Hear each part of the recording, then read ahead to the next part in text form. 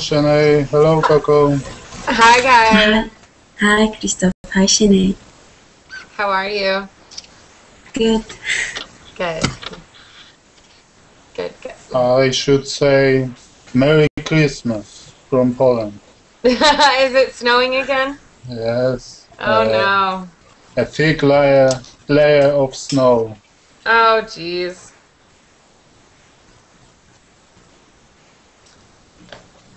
Well, it's not snowing here. so.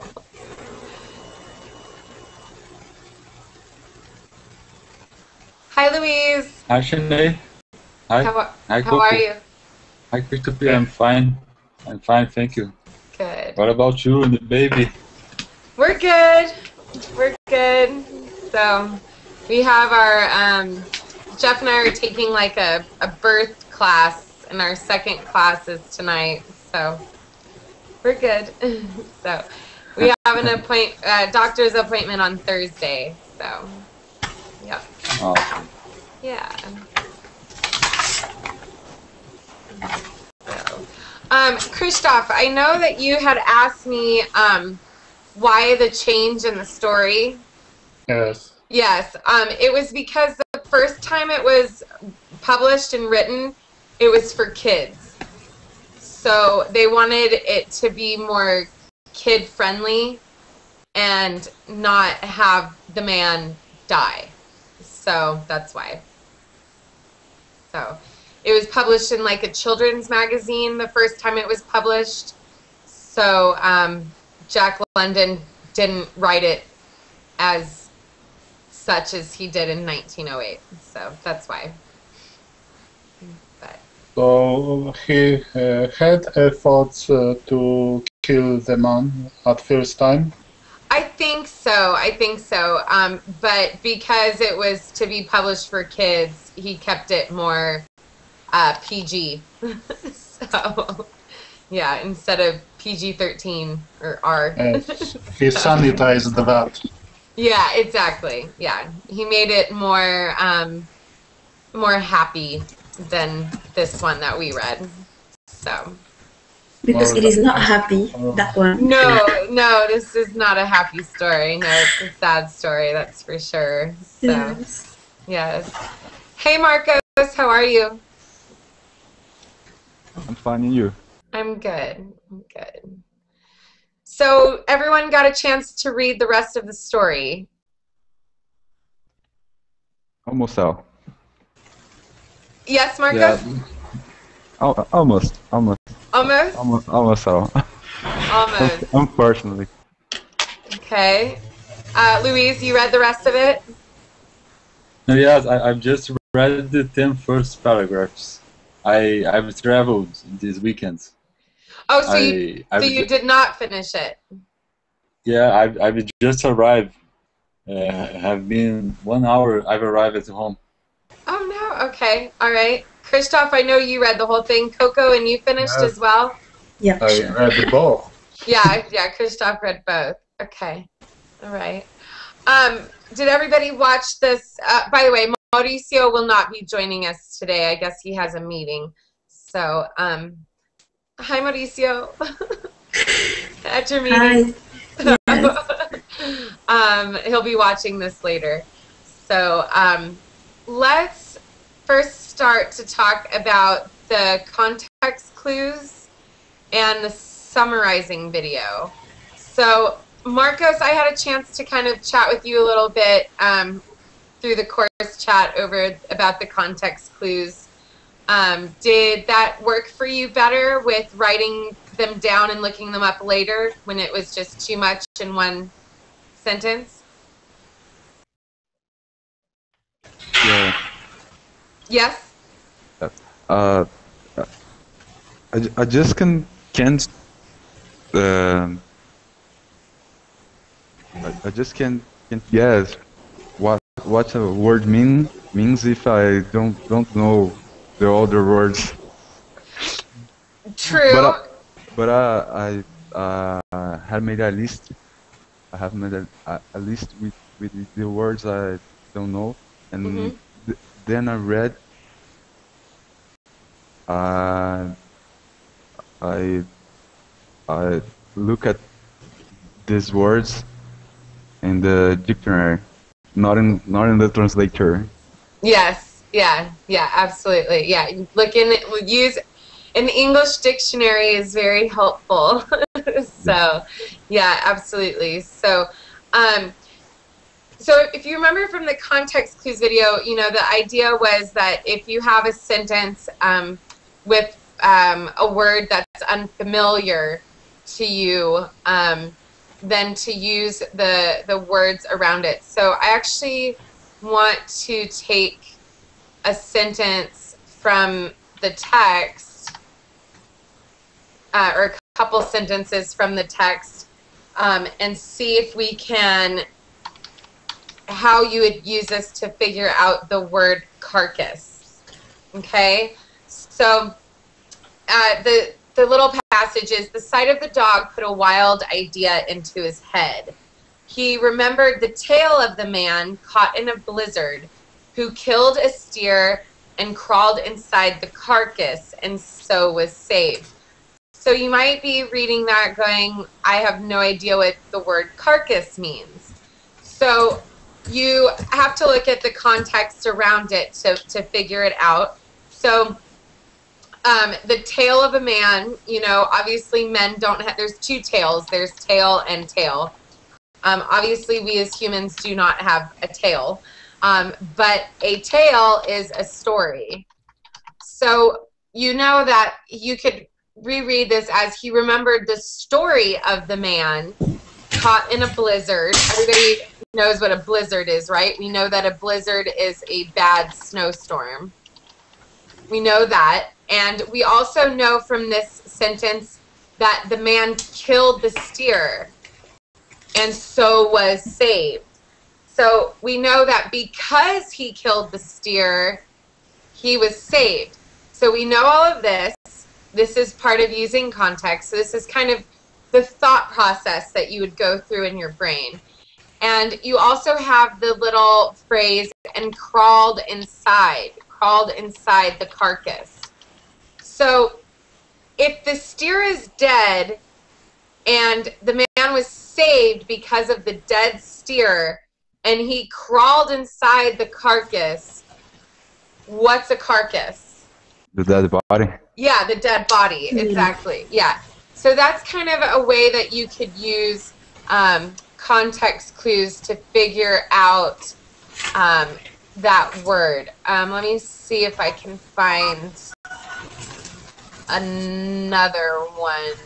Um,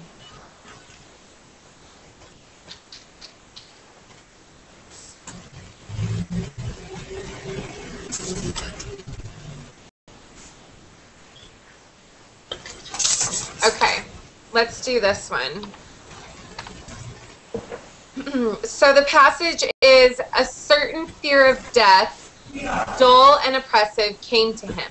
This fear quickly became poignant as he realized that it was no longer a mere matter of freezing his fingers and toes or of losing his hands and feet, but that it, but that it was a matter of life and death with the chances against him.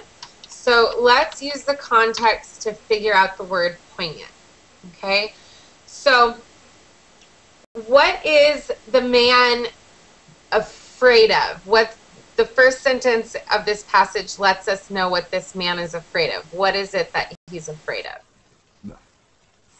The freezing with fingers and toes. That's part of. Look at the first sentence. What was it? A certain fear of death. Of death. death yeah. Because the Right. Yeah. So we know that he is afraid of of death by freezing.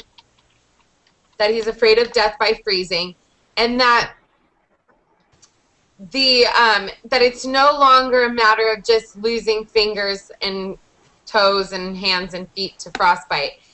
And we also know from the last part that what how good are his chances of surviving? Does he have a better chance to live or does he have a better chance to die at this to point? Die. To die. To die. Mm-hmm.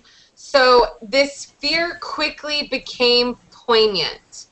What do you think poignant means from knowing that he's afraid of dying by freezing and he knows that his chances of dying are higher than living? What do you think the word poignant means? I know, but uh, sharp maybe or big. Touch them sharply. Okay.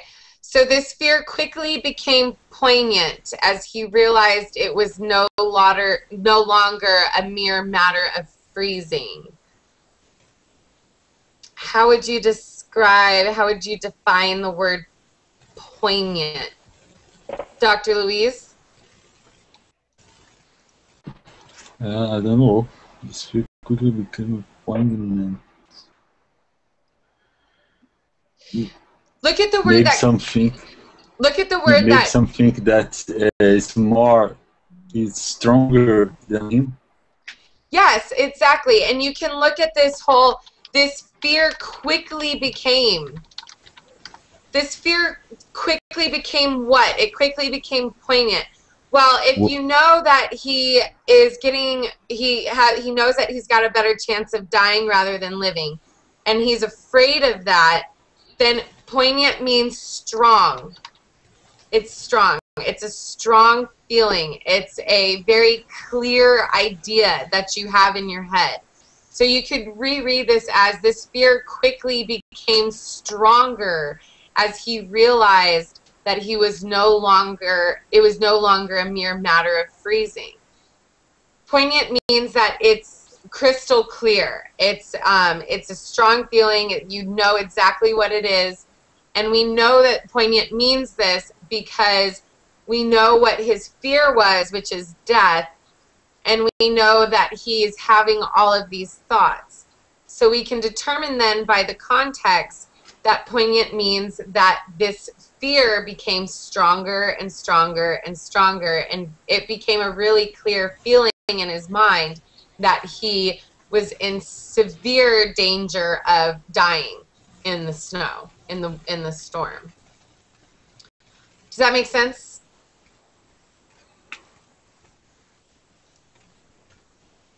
Yes, we, we can change for the word obvious Obvious? In this context. In this You could. Yes, you could. Uh-huh. This fear quickly became well,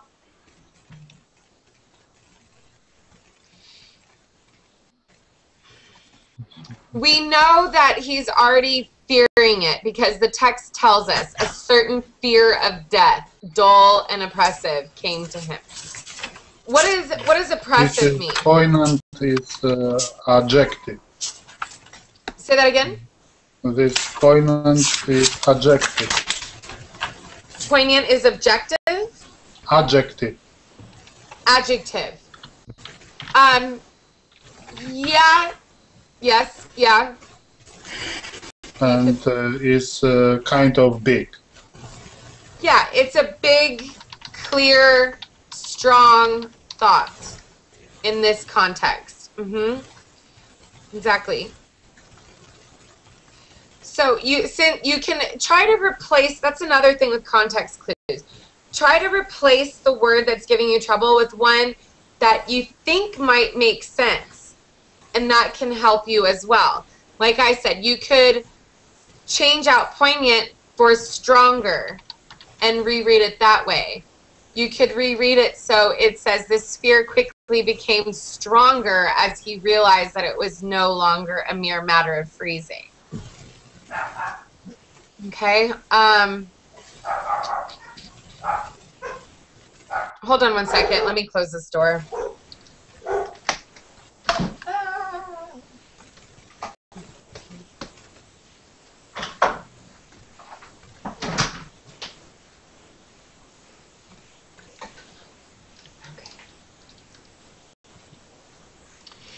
Is that any more clear to you guys? Or no? Or is it still kind of shady? No, it is clear. It's clear? Okay. Yeah. Um, let me see. Let's do one more.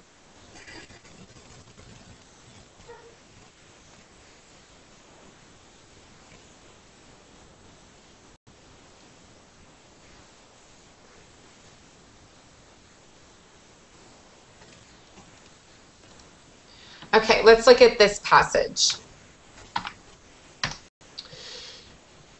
Deep down below the surface, he could feel it. The sensation developed into pain that grew acute. And still he endured it, holding the flame of the matches clumsily to the bark that would not light readily because his own burning hands were in the way, absorbing most of the flame.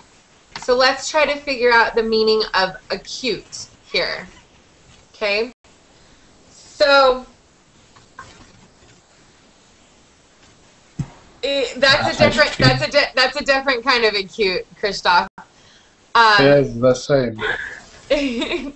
um, But, but I, I, It means I think it means is oh, go ahead.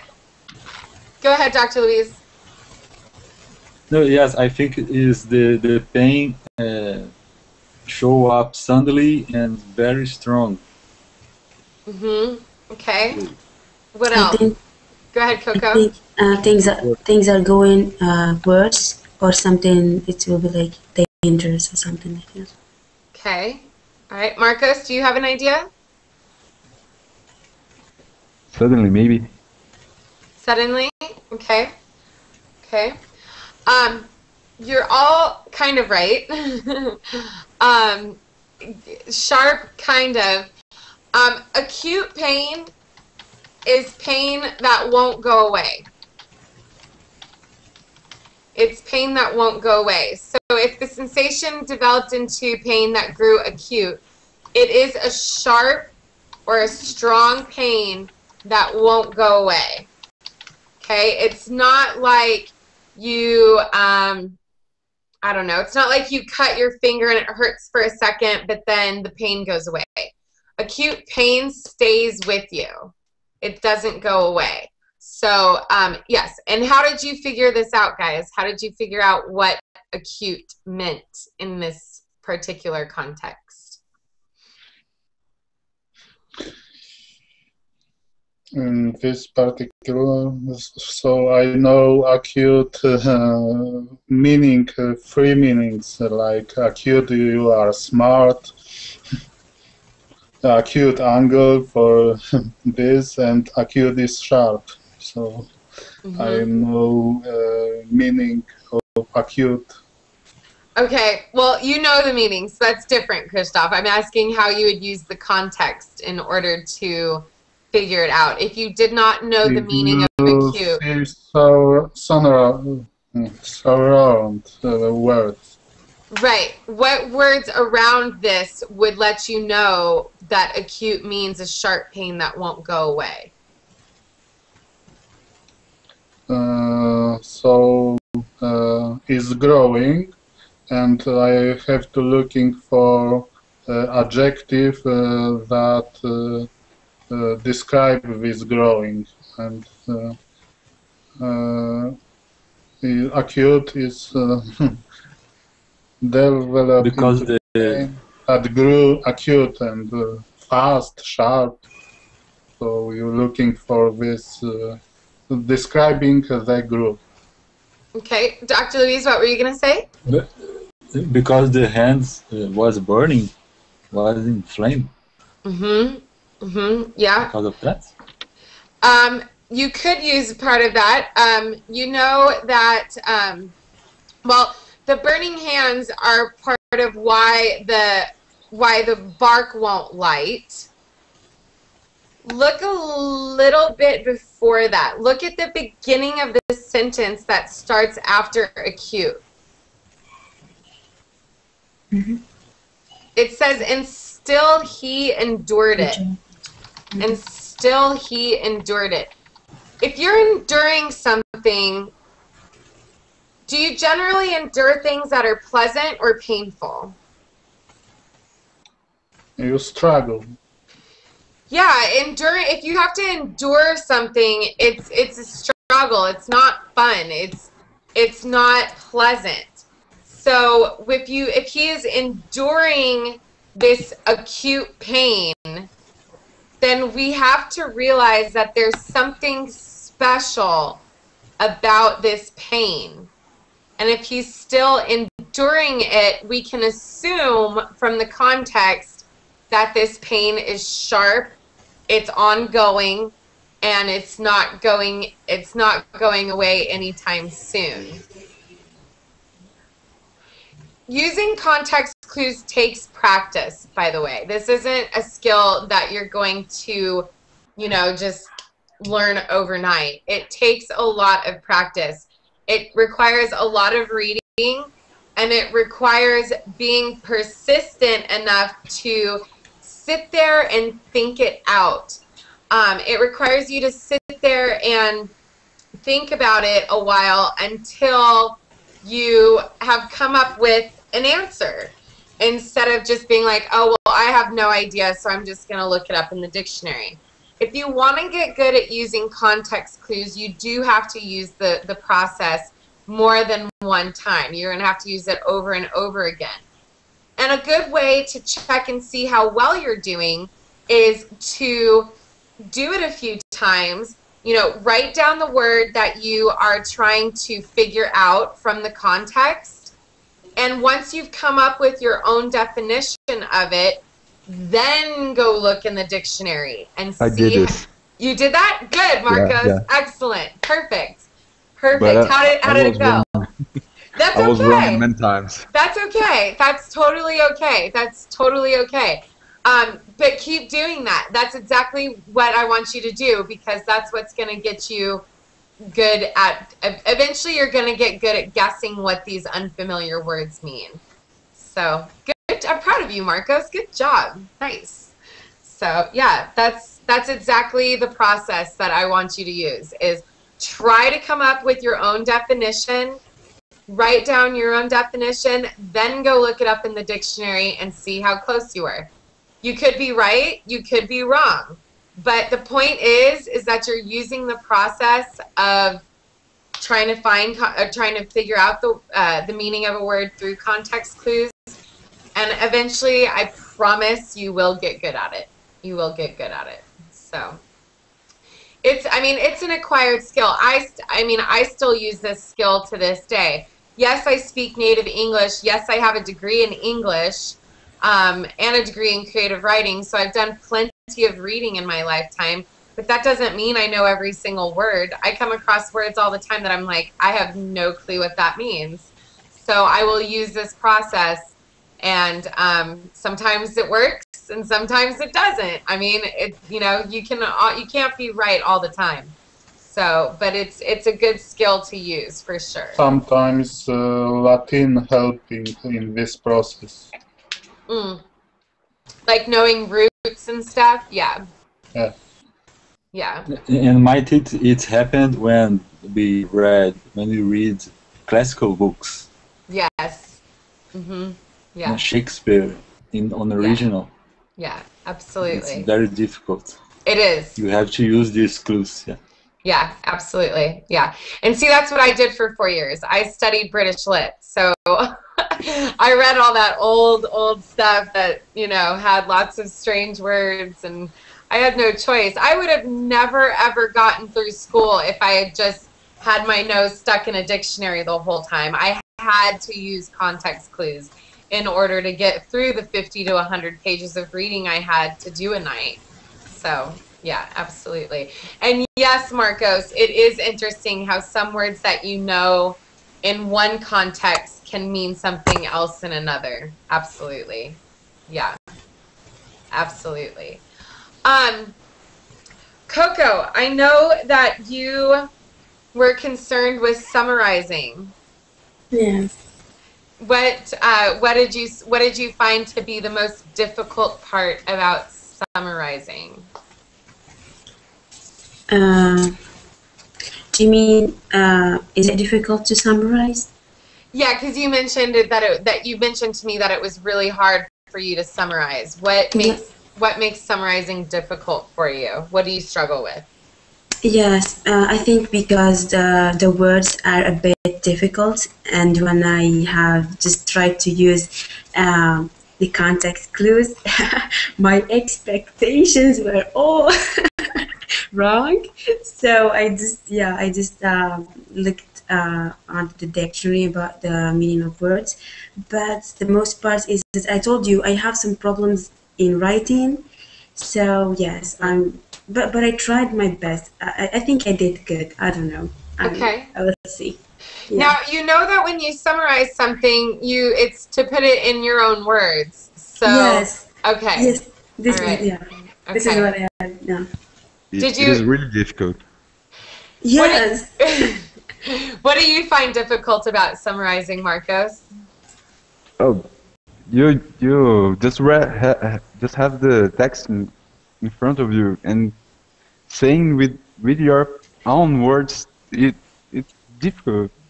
Make sure you close the book. Don't have it right, or close close the the or Yeah. minimize the window. Yeah. I, I I just I just did uh, the exercise you suggest in the video. Uh huh. Uh, begin with th- uh, three paragraphs. Yes. But I, I, I did it what word, word, word did when you summarize something. Get some some words in the sentence, and there, there is it. It, it, it is not my words. It's just words came from text. and it- It's not summarized for me. okay. Yes. It is You're difficult. right. Okay. Did any of you find it difficult to like leave some things out? Because that's usually everybody's problem with summarizing is that they want to include everything and then it doesn't become a summary. You might as well just read the text out loud. I mean, okay, let me let me give you guys an example. Um,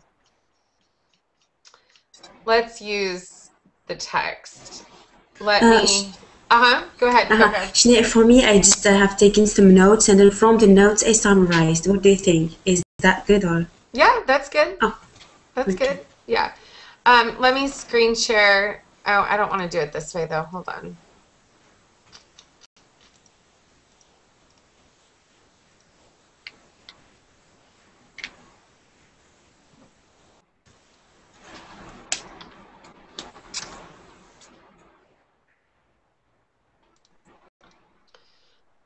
Okay. All right. Let me screen share this with you guys.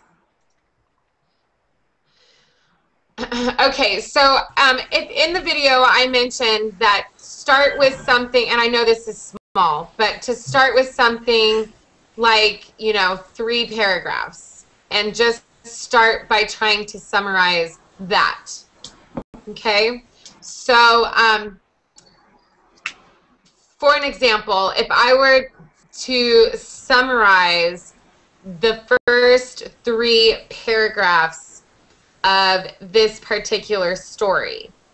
I might say something like The story begins on a very cold and gray day, and we are introduced to a man who um, appears to be traveling through this um, this scene. Um, he is not worried about the weather, and it takes place in the Yukon. And he has a um, he ha- uh, well, actually, that's not the first three paragraphs. I'm like trying to do the whole thing, and I'm like, and he has a dog with him. I mean, you don't have to be a great um, you don't have to be a, a great storyteller, Marcos, um, at all. Um, and there's a lumberjack traveling in a cold place who had some adventures building a fire. That's actually not a terrible summary, Marcos. Um, it's not the most detailed summary in the in the world, but it's not a bad one. Um, we're not sure if that if he's a lumberjack or not, to be quite honest. But um, you know, he is trying to get to a camp. Um, it's been so long since I read the first part of the story. I'm kind of trying to figure out. So you could say something, like I said, you could start off with saying, the story opens describing the scenery. It's a very cold day. The sun is not shining. Um, it's well below zero. And we are introduced to a man who does not seem to be concerned about the weather, even though he's traveling through it. Something like that. That's a pretty basic summary. The more, the better you get at it, um, the more details you can include. I mean, you could start by saying the story opens on a very, what is it, cold and gray yeah, the day starts in a very at a very cold and gray day with the man looking at his watch as he is deciding how long it's going to take him to get to a camp. We know that the man is not concerned about the cold, even though it seems like he probably should be, and that the scene scenery where he's at, which is up in the Yukon, is covered in ice and snow. Something like that. Coco, did you write down a summary for us? Um, actually, yes, I did, but I have written, um, how to say that, um, it is not really a summary, but it is. you want to share it? You want to share it with us? Ah, I didn't write it on the. I can read. That's I fine. Can... Sure, go for it. Okay.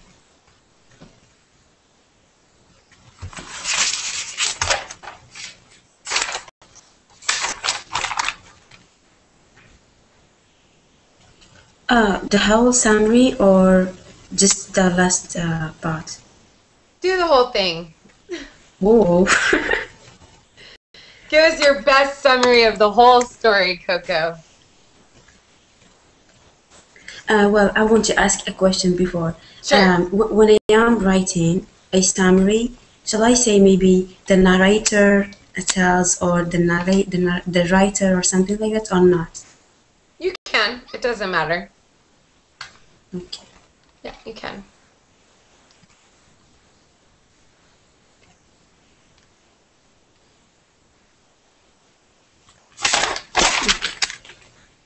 Um, an unnamed man uh, is making his way through uh, through the white snow of uh, Alaska. Uh, it was really, really cold.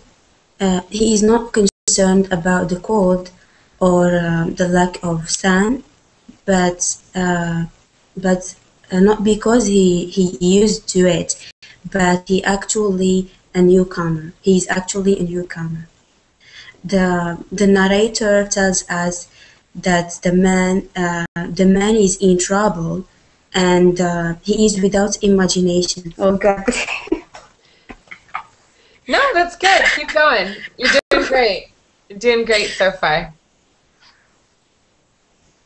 Okay. the, uh, that guy knows uh, knows the day is cold, but uh, doesn't really spend any time uh, thinking about how uh, his frail human body will stand up to uh, to it. You're doing good. Okay, thank you. My heart. okay. Uh,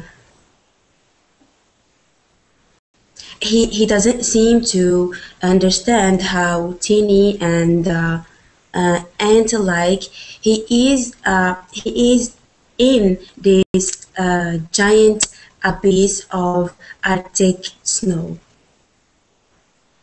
Spitting into the earth, the man hears a sharp crack and realizes that uh, his saliva has frozen before hitting the snow. This means that it must be colder than uh, 50 degrees below zero. Um, the narrator tells us that the, the man is uh, uh, hidden from a mining camp on Henderson Creek.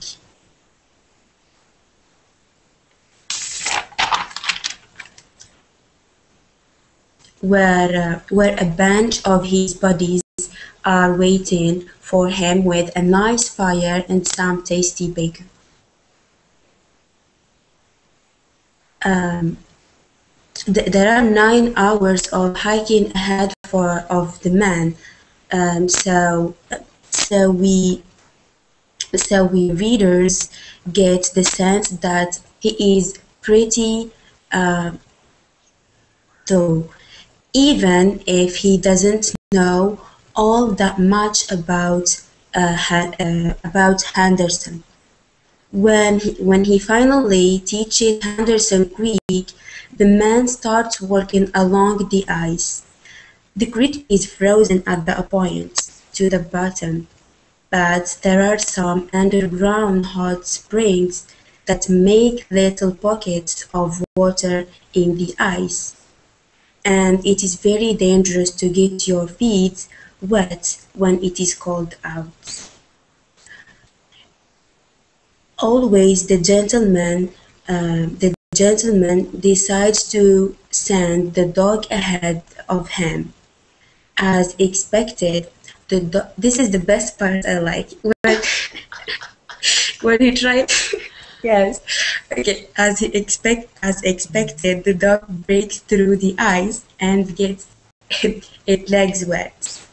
The man helps get the eyes off the animal's feet and uh, is surprised by how quickly his fingers go numb when he takes them out of his mittens.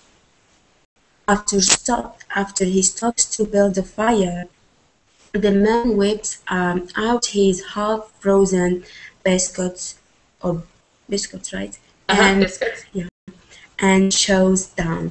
When he gets up, the dog is reluctant, reluctant. Some words I have used them from the dictionary. Okay, sorry. um, to Oh no! Coco, where'd she go?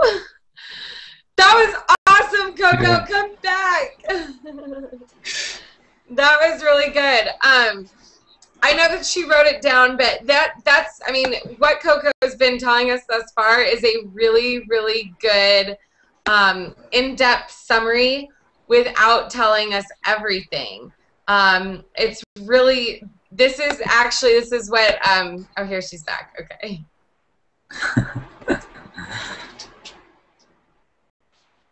Coco. Uh-oh. sorry. No, that's okay. You're doing such a beautiful job. I was just telling the guys, this is a really good example of an in-depth summary that is not telling us everything, but gives us enough details about the story. It's really, you're doing a beautiful job. A beautiful, Oh, thank you. beautiful job. And to be honest, sometimes uh, uh, I mean, sometimes I uh, I ask someone to help me. He is not he is not a native, yeah, but just because yeah, to just correct correct some ideas and something. Yeah, no worries, no worries. Um, okay, since I, I was gonna have us play a summarizing game today, where everybody gives their own summary of the text, um, and we everybody would vote um, on it, but. I'm going to change it a little bit because I know Marcos didn't finish it and I know Dr. Louise didn't finish it. And um, at this point, um, I love you all, but I think Coco would blow you guys out of the water so far. So I want to make it fair for everybody. So this is what we're going to do. This is what I want you to do. Once you finish, and now that Coco's given you guys a really good example of this, this is what I want you to do. I want everyone to write, yes, I know, I want everyone to write a summary of the story and post it on the course page, okay? I will post, um, I will post something that says, you know, paste, copy and paste your summary here.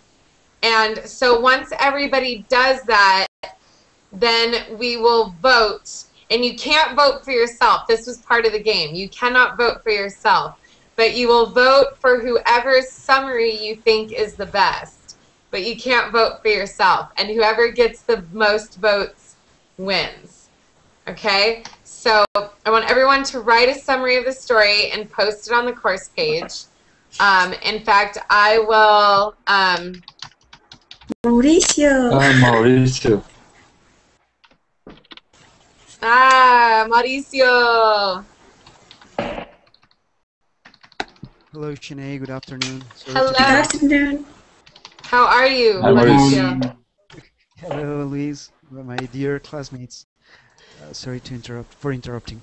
I'm, Oh, I'm going to be please. si- in silence. In silence. No, no, no, no, no. Um, we were just uh, we were talking about summarizing Mauricio, and um, Dr. Louise and Marcos didn't get a chance to finish the story. Did you have a chance to finish it or no? No, to tell the, t- you the truth, no, I, I didn't. Okay. I Perfect. didn't. Okay. Well, that's okay because you guys are all in luck. So, Mauricio, what I was telling everyone is I want everyone to write a summary of the story and post it on the course page. Okay? Um, and what you can do is you can uh, send me send me your summary before you post it and I will correct like the grammar and, and that kind of stuff if you're worried about that. Um, but what we're going to do, Mauricio, is once everyone has their summary posted, then we will vote on whose summary is the best. Ah, Okay, sounds And- great. And you cannot vote for yourself. Okay? And you cannot vote for yourself. So I will post you self, really, Chenay. I swear I'm an English teacher. Yourself. So um, I will post all of this on um, the course page explaining it and whatnot. But that will be um, the homework uh, besides the homework that is I'm going to assign in just a minute um, for between now and Wednesday. So you guys will have your work cut out for you between now and Wednesday. So um, Mauricio, make sure that you watch this video after class um, because Coco was giving us a beautiful summary of the story. So um, that'll give you kind of an idea of what I'm I'm looking for. So I can imagine. I can imagine. yeah, she did a great job. So I, I told you, Mauricio. That's good. good. so yeah, so but um, this will be a great exercise for everybody to do. So um, and sometimes it's easier to write it out than it is to just say it on the fly. But I do still want you to practice summarizing skills out loud because what is the purpose of summarizing? What does summarizing help you with?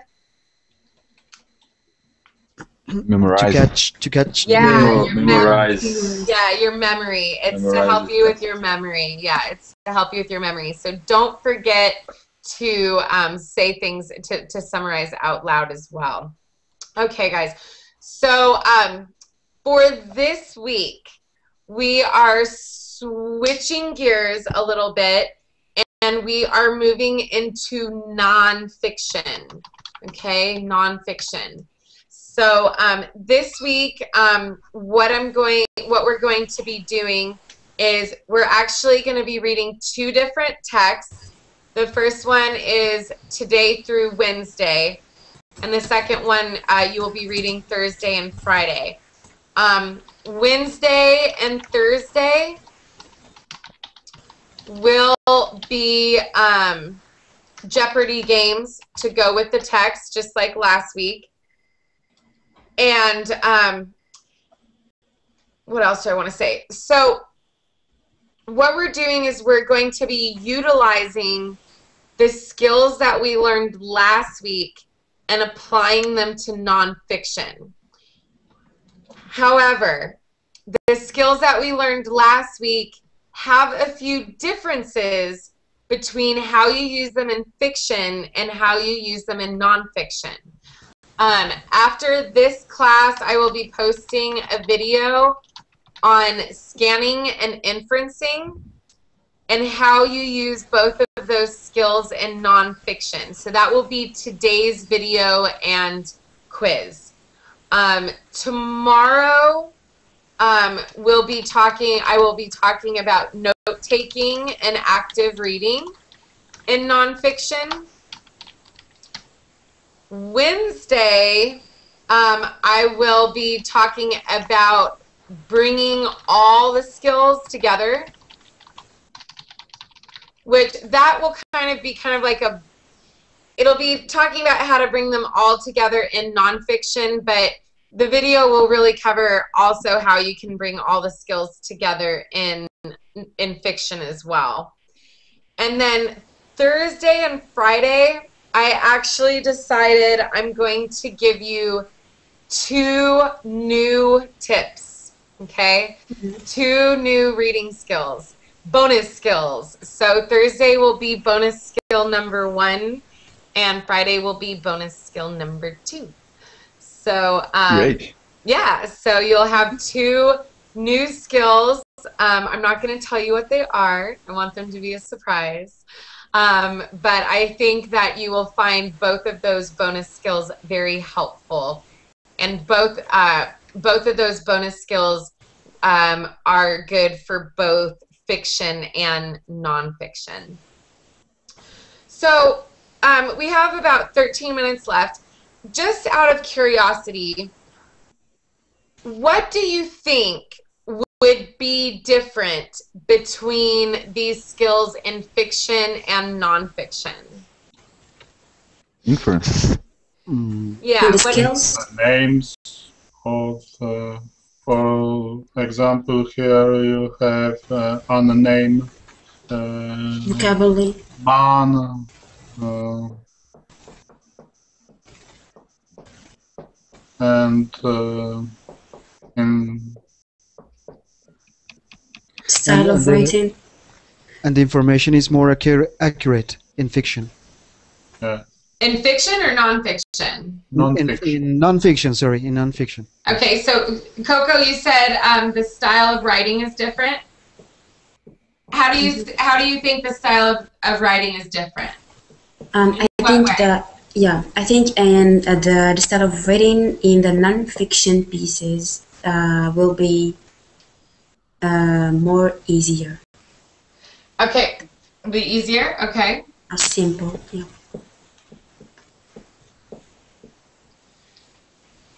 Maybe, maybe not. Um, Freestyle, freestyle.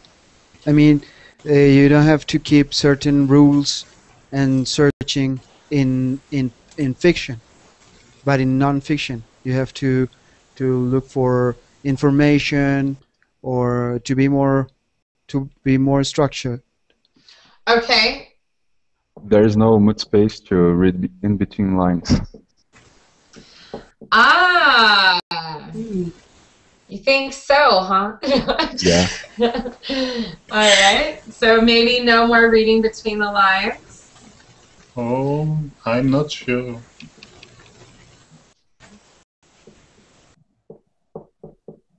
Maybe. Maybe. So we've talked about the style of writing is different. Maybe it's easier. Maybe it's more structured. Maybe no more reading between the lines. What I else? think you stick uh, to historical facts. Okay.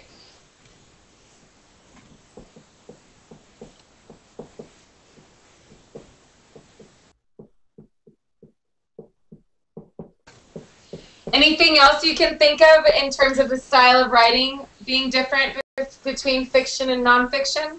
Uh, maybe uh, the use of vocabulary. Do you think the vocabulary will be easier, harder, or just different? Yeah, easy. Just different. Just just different. Okay. Is it right to say the aesthetics? The aesthetics? Aesthetics. The Aes- aesthetic, s- s- aesthetics of the of the style. No, no aesthetic, aesthetics. uh, Aesthetic. aesthetics? Is that the word you're looking for, Mauricio? Yes, yes, I think. Um, aesthetics is like um, uh, the, the, the how aesthetically pleasing something is. So, like fiction, we say is aesthetically pleasing because it appeals to our senses. It appeals to us being able to envision things or um, things of that nature. Is that what you're talking about? Yes, the style maybe is yes the the way the the flowering the the way you, the flowery text. Sorry, I'm really exhausted today. I understand. Uh, yes, um, yes, the flowering style, the, the way you you show the the situations and the characters, everything in nonfiction. Okay, all right.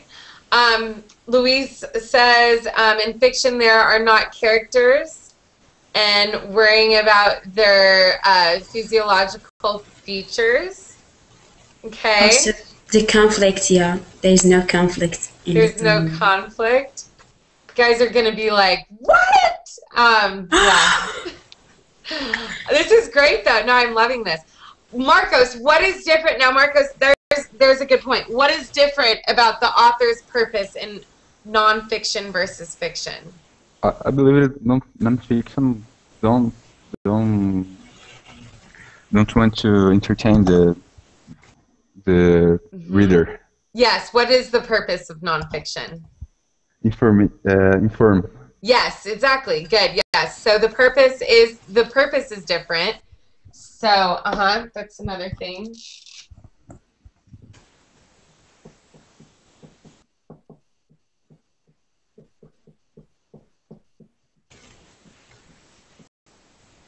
Okay. Different purpose. Can you think of anything else that might be different between reading fiction and nonfiction?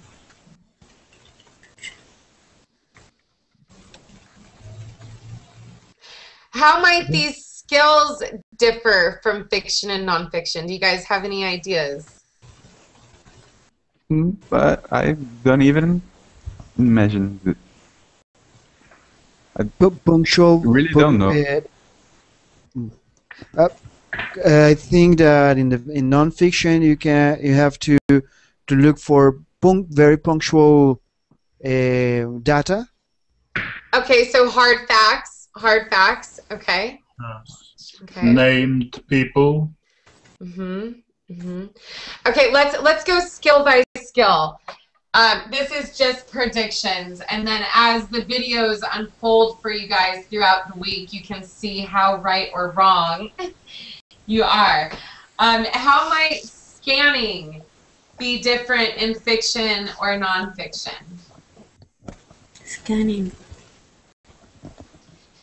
Do you think there'd be any difference in how you scan in nonfiction versus how you scan in fiction? Mm. I think it's scanning. in Well, both if you- If you if you are in a reading class, you have to use the same the same scanning. I Okay, so you guys think that scanning will be the same? Yes. Okay. I think be. It might. Yeah, it could be. What about making inferences? What do you think the difference between fiction and nonfiction would be for inferences?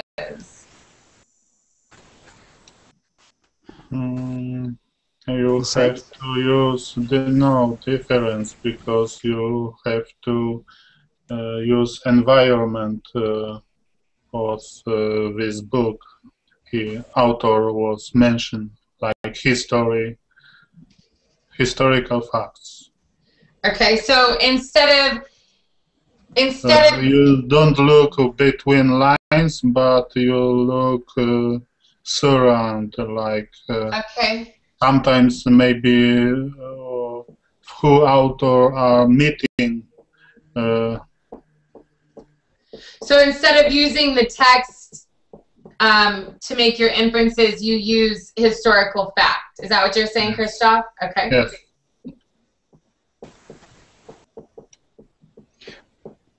I could say that that they are the same because uh, uh, it depends on uh, the na- their narrative way of the Okay. writers.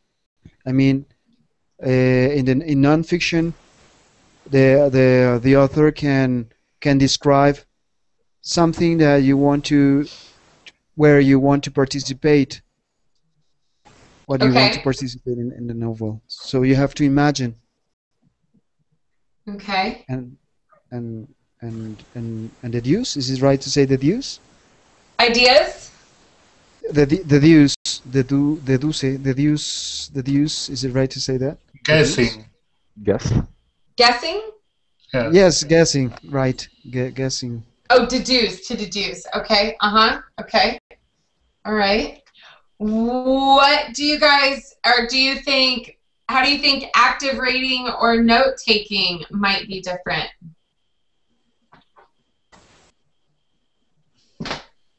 I, I think active reading is more present. Say that again, Marcos.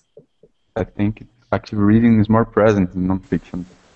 In If you- nonfiction? Yeah, if if you don't if you do not understand in in simple words, you really have to come back and read everything again. Okay, okay. So you're saying you have to be much, much more aware of what you're reading in nonfiction? Yeah.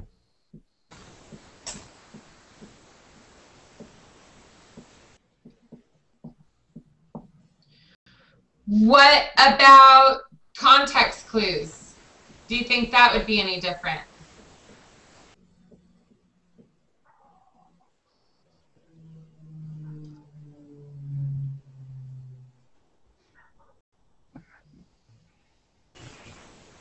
I think it is the same. The same? Okay.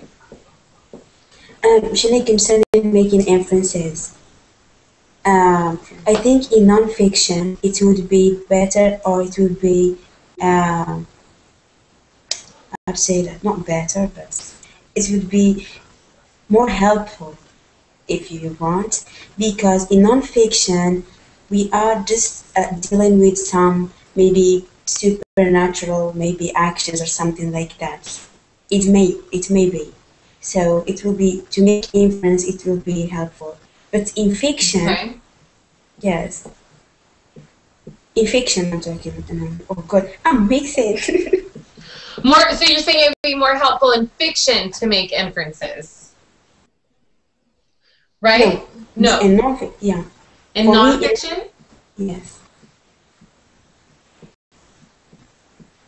Okay. What about summarizing? Do you think that summarizing will be any different? No, just summarize it.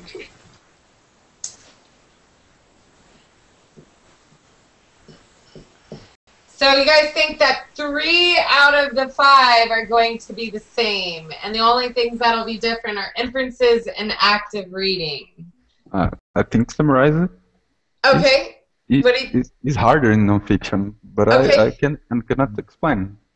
I Okay. think Yes, I agree. it- it is because uh, you you have to preserve information in the text.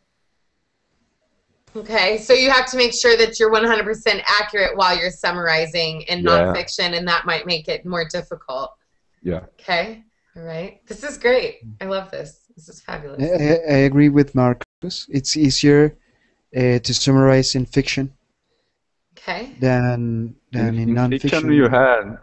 In It's more forgiving, allows you to make more mistakes in fiction than in nonfiction. Uh huh. you, you you have space to to tell things like uh, I wrote in the tech, the checkbox. There was there was a lumberjack and blah blah Yeah. blah. Yeah. In Because- nonfiction, you because- you just don't have it. Yeah. Don't don't don't, don't you can't. Yeah. Even though we don't know if he was a lumberjack or not, it really doesn't matter too much. We still get the idea of what the story is about. So, hmm yeah, no, I see what you're saying. I see what you're saying. So, you don't like fiction, Marcos? I really don't like. I uh, uh, I just can't can't read read it. Uh, I read this with uh, many. It it was hard for me. I I, I can't I, I can't enjoy when I I'm reading fiction. Uh, I don't know, but I I don't know why, but I I You have to let yourself get lost in a book.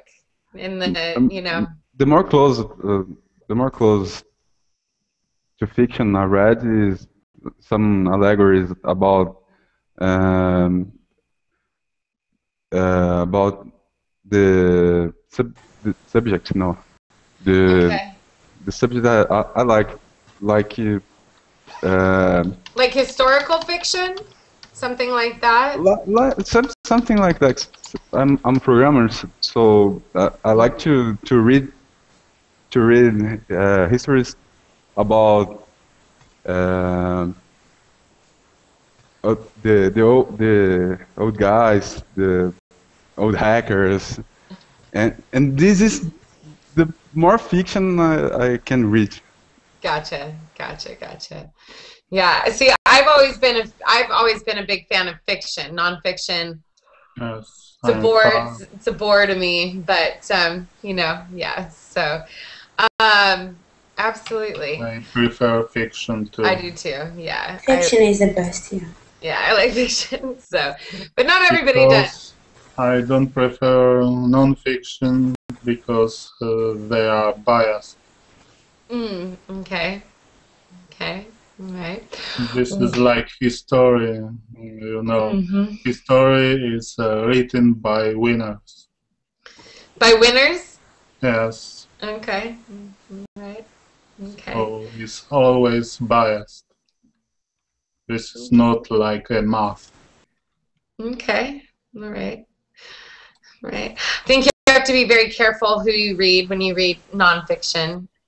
So, um, I mean, regard. I don't. I don't think it matters if you what you read. It's there's going to be a bias to it somehow. So, you just have to be aware of that. Um. Okay, guys. What I'm going to do is, um, because I still have to upload. I've got the video saved on my computer, but I still have to upload it to YouTube. So um, it might be another 30 to 45 minutes before I have today's stuff, um, homework and everything on the um, on the website for you, but it will be there. Um, you have until really until Wednesday, but don't forget there will be a new video and homework tomorrow as well. And don't forget your summary um, for to build a fire. We have to summarize something new.